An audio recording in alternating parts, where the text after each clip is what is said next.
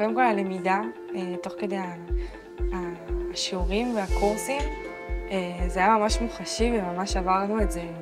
אני עברתי את זה על עצמי, ממש. אם זה היה לצאת לצלם, אם זה היה להשתמש בחומרים שכבר יש לי, אם זה היה לשלב בין אה, סרטונים מהילדות וסרטים מההתבגרות וסרטים חדשים, ולשמוע, להקליט את עצמי מדברת ולשמוע את הקול שלי, זה היה פשוט תהליך שלם של קבלה עצמית. של אה, לראות את עצמי, ללמוד לאהוב את זה, אה,